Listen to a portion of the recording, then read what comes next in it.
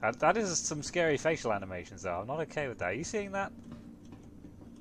Uh, no. What are you seeing? Uh, he's just kind of gurning. I'll video it.